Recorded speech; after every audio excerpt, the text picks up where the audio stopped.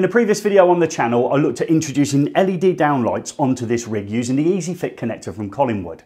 I've now come across another product that does something very similar, allowing us to connect twin and CPCs twin and earth cables very quickly to a connector then allows us to introduce a flex for something like an LED light or maybe a modular lighting system. The product we're going to look at today is from Quickwire. It's the T connector system. So I'm going to have a little play around with that and it gives me another golden opportunity to use my wire strippers that I've fallen in love with. So how's the T connector work then? So you can see on here we've got N, the earth symbol and an L. So we've got the neutral, the CPC and the switching line coming into here as we did when we did the two plate method. We went up to the light fitting with that switching line neutral and CPC. And on the other side, we've got exactly the same again. So that would go out to your next LED downlight. So you make your um, twin and CPC connections into here and then go out to the next light.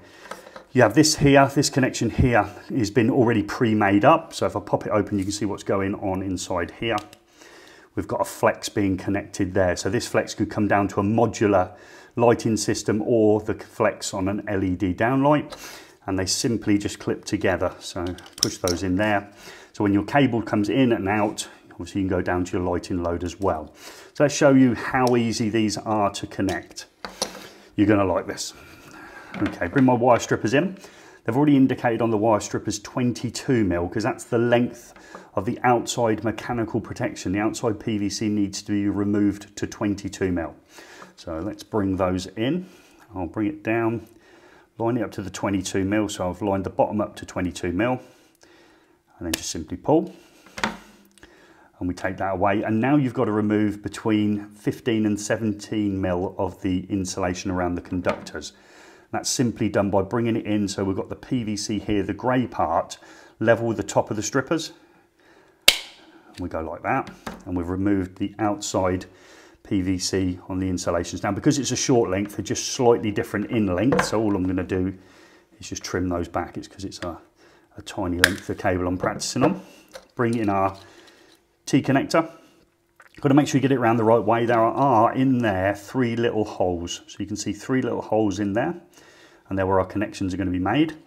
So I've got to turn the cable around, position it like in there and it will find its way into the hole. So we're into the position of the holes there. Just check polarity. So I've got the neutral this side and the neutral. Watch this and just push, click. That's it connected. I know, incredible, isn't it? That that is how you connect it. So you can repeat the process on the other side. This would bring in our switching line, neutral, and CPC as we did in our two plate method up to our light fittings. Let's do the other side because I just love using these wire strippers. So bring them in again, set it to 22 mil pull, bring it in. And I'm going to just bring it off the end there. They're exactly the right length now. I've got to trim those back, haven't moved around too much. Bring in my connector. Again, I've got to make sure it's the correct way round. Find those positions in the holes. They've settled in. Visual polarity check. Push, click. There we go. That's the T connector made off. If we bring in the pre-made up, this came with the kit. It's already pre-made up with the flex you'd be bringing this in for your uh, lights.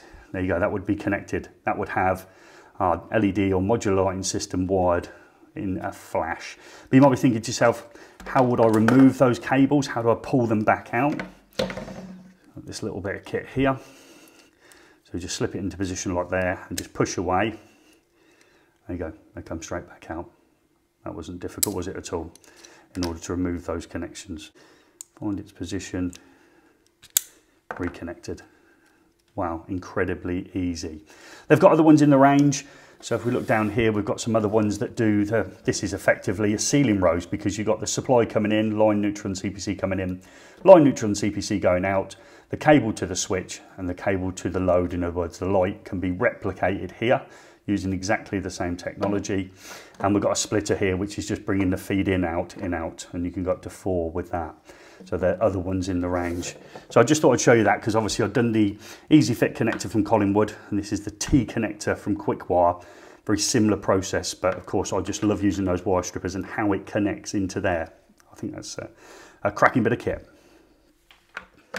If you're like me, I don't know which I'm more impressed with. The T connector, which is fantastic and easy to do, or the flat twin and CPC or twin and earth wire strippers. So it does one mil, one five and two five if you get yourself a set of these. Both are fantastic, married together. So what I could have done is replace these easy fit connectors with this one.